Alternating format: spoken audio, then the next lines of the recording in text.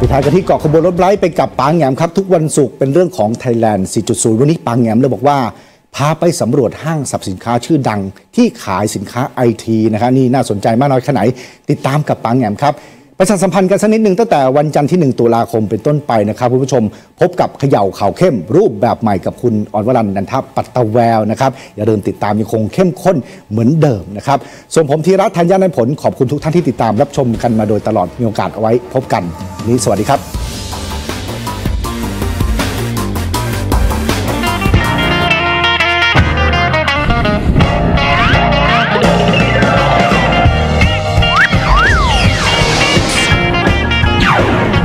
ในยุคที่อะไรอะไรก็อินเทอร์เน็ตอินเทอร์เน็ตอินเทอร์เน็ตนโยบาย 4.0 ของไทยนะครับคำคำนี้ดังไปทั่วเพื่อนบ้านเขาก็พูด เขาก็ใช้คำว่า 4.0 เหมือนกันนะครับ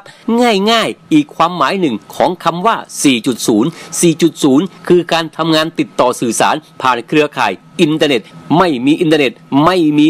4.0 และที่สำคัญที่สุดพัฒนาไปสู่การทำงานแบบไร้สายครับ ดรเกียรติศักดิ์ส่องแสงเจ้าของร้าน KSS ร้านขายอุปกรณ์ IT Accessory ต่างๆ เฉพาะที่เซียร์รังสิตนะครับ มี 8 ร้านเดียวนะครับ ไปดูอุปกรณ์ทันสมัยกันดีกว่านะครับ เครื่องสำรองไฟตกไฟดับ นี่ก็กล่องเราเตอร์ อินเทอร์เน็ตเคลื่อนที่ที่อยู่ในทุ่งนานะครับก็ยังเล่นอินเทอร์เน็ตได้ครับ อันนี้ทันสมัยครับ กล่องเชื่อมสัญญาณอินเทอร์เน็ตกับทีวี และดูหนังฟังเพลงเล่น YouTube ก็ได้ ใช้ได้ทั้งจอแบนนะครับ และก็ทันสมัยที่ว่านี่ก็คือ จอตู้ปลาแบบเก่านะครับ ก็ใช้ได้ครับส่วนอันนี้นะครับกล้องวงจรปิดไม่ง้อช่างนะครับ ซื้อไปติดเสียบปลั๊กไฟดูผ่านสมาร์ทโฟนได้เลยใช่มันจะสามารถตอบโจทย์คนใช้งานด้วย ไม่ใช่ว่าเทคโนโลยีมันจะไปอย่างเดียวครับมันจะต้องทำให้คนใช้งานมันใช้งานง่ายขึ้นด้วยครับ ไม่ใช่อะไรก็ถามช่าง ใช่ครับก็คือจริงๆ ต้องพึ่งช่างให้น้อยที่สุดเพื่อให้ user หรือคนใช้งานจริงเข้าถึงเทคโนโลยีได้ด้วย ไม่ใช่ช่างเข้าได้อย่างเดียวเองครับเพราะอุปกรณ์เทคโนโลยีสมัยนี้ ใช้งานง่ายตอบโจทย์คนใช้งานโดยเฉพาะอย่างลูกค้าแก่ๆอย่างผมเนี่ยใช่ได้ก็ใช่ได้เลก็ยจะมาเกรงอกเกรงใจ ไม่เป็นไรไม่เป็นไรครับก็ก็ถามไปเลย ถามได้เลยใช่ครับไม่ซื้อไม่แค่ว่าแค่อะไรอะไรมาบอกว่าต้องการอะไรอ่าเดี๋ยวเดี๋ยวจะจัดการให้ได้ครับ จริง ๆ มีครบครบกับทุกอย่างที่อยากจะได้อยู่แล้วแค่ส่วนใหญ่ลูกค้าไม่สามารถบอกได้ว่าต้องการอะไรจริงๆเฉยๆแต่อยากให้ถามมากกว่าครับไม่ต้องเกรงใจ สุดท้ายอินเทอร์เน็ต หรือเทคโนโลยีมันจะตอบโจทย์ตัวลูกค้าเองว่าควรจะใช้แบบไหนควรจะใช้ที่มันเป็นแบบ เยอะมากแพงมาก อันนี้คือเราไม่ได้ขายของแพงนะ ต้องบอกลูกค้าก่อนแต่เทคโนโลยีมันมาแล้ว มันทำยังไงถึงจะต้องตอบโจทย์ลูกค้าได้มากที่สุด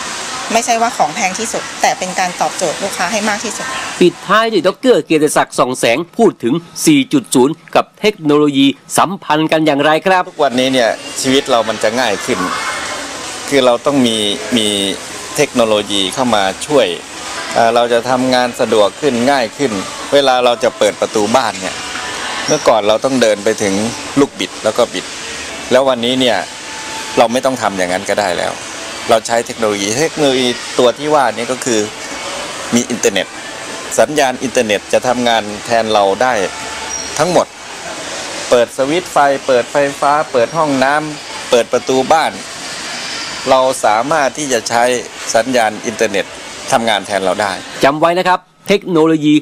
4.0 ต้องควบคู่ไปกับอินเทอร์เน็ต และให้ทันสมัยสุดๆก็ต้องไร้สายใช้บลูทูธ หรือ Wi-Fi อย่างเดียวนะครับ ก่อนจบก่อนจากข้าราชการเกษียณ คือผู้ที่มีส่วนร่วมในการพัฒนาประเทศ ผลงานของท่านจะฝากไว้ในพื้นแผ่นดินไทยนี้ ตลอดไปนะครับ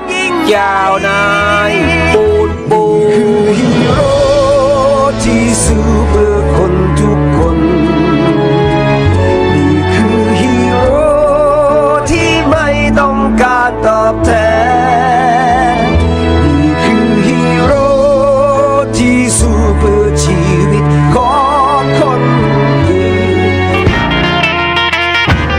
ตามเกาะขบวนรถไบค์ไปกับป๋าแหงมได้ที่ Facebook แฟนเพจข่าวป๋าแหงมทุกวัน และอินสตาแกรม